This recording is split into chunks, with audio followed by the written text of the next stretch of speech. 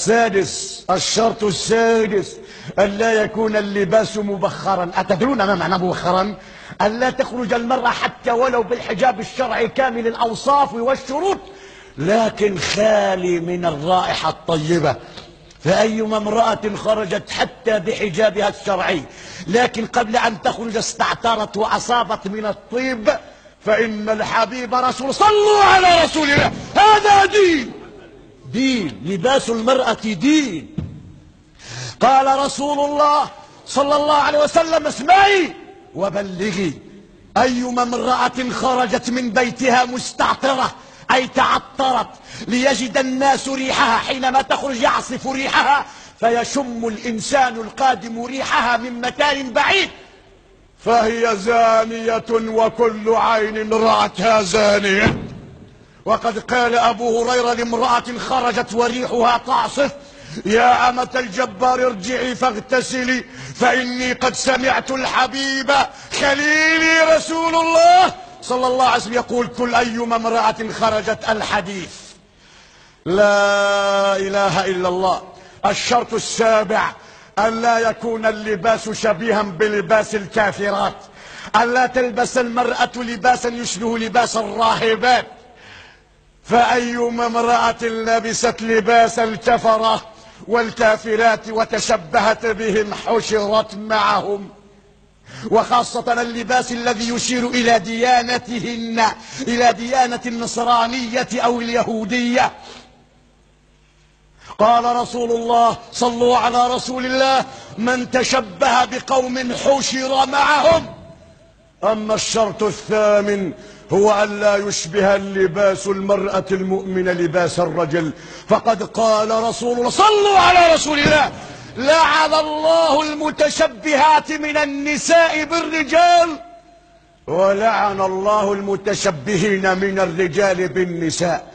ملعونات ملعونين. من أراد أن يتمرد على فطرته فتنسلخ المرأة من أنوثتها بدعوى الجندر. وينسلخ الرجل من رجولته بدعوى التحضر ويلتقيان في جنس ثالث لا هو ذكر ولا هو أنثى. إنما هي الخنثى. خنثى مشكل. هذه شروط اللباس الشرعي لكل امرأة أرادت أن تحمي شرفها وعرضها ودينها وأن تلتزم بدين ربها. فلتعد الجواب بين يدي الله تعالى إذا لقته يوم القيامة. عباد الله لباس المرأة إذن هو دين يجب أن تتمسك به كيف ما كانت الظروف والأحوال. في البرد الشديد وعند الحر الشديد. فلا يجوز للمرأة أن ترتدي الحجاب شتاء فإذا اشتدت حرارة الصيف نزعته بدعوى الحر فقل نار جهنم أشد حرا لو كانوا يفقهون.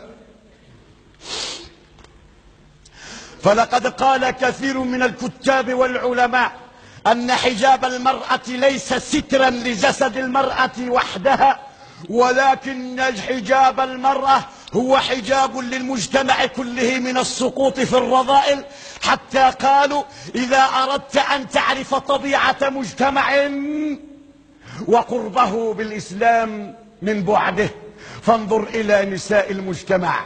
فإن التزمت نساء المجتمع بالحجاب أكثرهن ملتزمات فاحكم على المجتمع أنه متدين يحب الفضيلة. وإذا رأيت أغلب نساء المجتمع مستهترات في مجال اللباس عاريات كاسيات فاحكم على المجتمع أنه مجتمع يميل إلى الانحراف. ولقد افتضح أمر المغرب في الخارج قبل الداخل وأصبحت سمعتنا ملطخة بالتراب.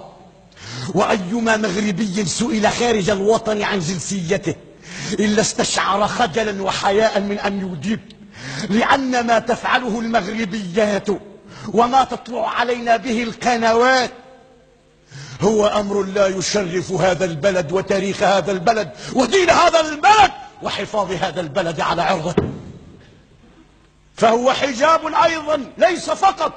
يستر المرأة ولكنه حجاب يحجب المجتمع من السقوط في الرذائل كما قد تعرفون. لا إله إلا الله محمد رسول الله. عباد الله إن التعري أي ترك الحجاب حجاب المرأة. هو سلاح إبليس القديم كما تقرؤون في القرآن. ألا ترى أن الله يقول في سورة الإعراف ينادي جميع بني آدم حتى لا يقعوا في حبائل الشيطان؟ لتجريدهم من لباسهم.